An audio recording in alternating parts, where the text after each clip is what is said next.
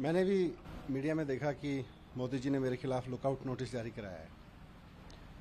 ये थोड़ा दुर्भाग्यपूर्ण है कि देश के प्रधानमंत्री सुबह से शाम तक यही सोचते रहते हैं कि सीबीआई से किसको नोटिस जारी कराऊं, किसके घर रेड कराऊं, किसकी सरकार गिराऊं, किसके यहाँ ईडी भेजूं। देश के प्रधानमंत्री अब यही सोचने के लिए रह गए अब मनीष सिसोदिया को नंबर ज़ीरो बना दो, अरविंद केजरीवाल को नंबर ज़ीरो बनाने की सारी साजिशें कर लो उससे क्या होता है? इससे देश थोड़ी नंबर वन बनेगा। मैं समझता हूँ जिसमें दाग नहीं है उसको कोई ज़ीरो नहीं बना सकता।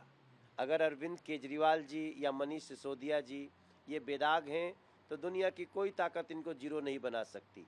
और अगर पाप किए हैं तो कोई बचा भी नहीं सकता। अब की बार तो देश की जनता लुकआउट नोटिस देगी और 2024 में देगी और पूछेगी कि बड़े बड़े वादे करके कहाँ चले गए। अब देश की जनता लुकआउट करेगी 2024 में। देखिए प्रॉब्लम तो इसी बात की है कि हुआ है शराब घोटाला। उस पे सवाल पूछे जा रहे हैं, उसके जवाब नहीं दे रहे हैं। और बात करने लगते हैं दुनिया भर की गोल गोल तो मैं समझता हूँ कि ये किसी शिक्षा नीति या स्वास्थ्य नीति या और किसी इनकी विदेश नीति पे नहीं है। ये सीधे सीधे शराब घोटाले के ऊपर सवाल हैं और उसका जवाब देना चाहिए। उसकी जगह वो सारी बातें कर रहे हैं। मैं बताना चाहता हूँ अरविंद केजरीवाल, यही अरविंद केजरीवाल देखिए, स्वराज पुस्तक है। और इस स्वराज पुस्तक में, इस पुस्तक का लेखक अरविंद केजरीवाल हैं। ये लिखा है, ये किताब व्यवस्था, परिवर्तन और भ्रष्टाचार के खिलाफ। और देखिए, इसी स्वराज पुस्तक के एक पेज में लिखा है कि अगर कोई अगर कोई शराब की दुकान खोलने के लिए आएगा तो हम उसको मंजूरी नहीं देंगे। अगर किसी भी रिहायशी इलाके में कहीं शराब का नया ठेका खोला जाएगा तो उससे पहले महिला संगठन और वहाँ के लोगों से बातचीत करेंगे। मनीष सिसोदिया जी को आदत है और आम आदमी पार्टी के नेताओं को आदत है जनता को गुमराह करने की।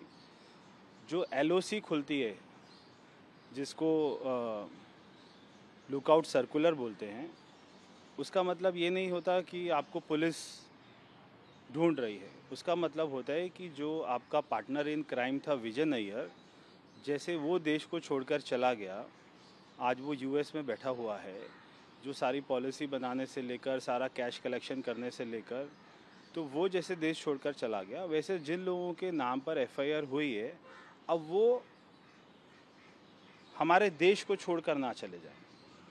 ये होती है एलओसी खुलना। तो आपको दिल्ली में नहीं ढूंढा जा रहा है। दिल्ली में जब भी आपको ढूंढना होगा, पुलिस हमारी सक्षा में आपको पकड़ लेगी। मगर एलओसी खुलने का मतलब होता है कि सारे एयरपोर्ट के ऊपर में एक एजेंसी द्वारा नोटिस चला जाता है कि ये व्यक्ति देश छोड़कर नहीं जाना चाहिए। कि ये लुकआउट नोटिस का जारी होना सामान्य बात नहीं है। जैसे वो बार बार कह रहे हैं, जनता को भ्रमित कर रहे हैं।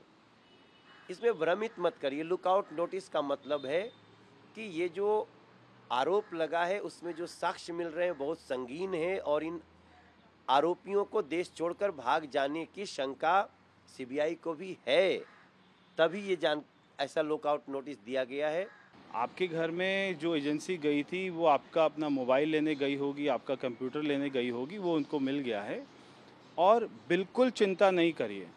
अभी सीबीआई के पास में प्राप्त सबूत हैं, उनके पास में प्राप्त गवाह हैं जितने लोगों के खिलाफ में एफआईआर हुई है, कई लोगों ने जाकर सीबीआई को पूरा घटनाक्रम बता दिया है किस होटल में डील होती थी, कितना पैसे का ट्रांसफ़र हुआ है।